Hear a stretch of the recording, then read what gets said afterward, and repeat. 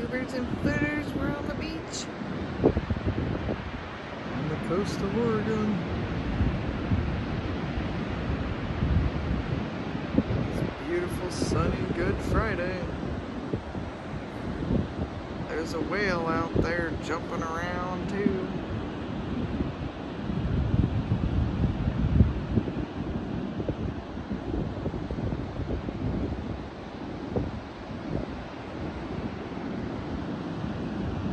you're enjoying your Good Friday.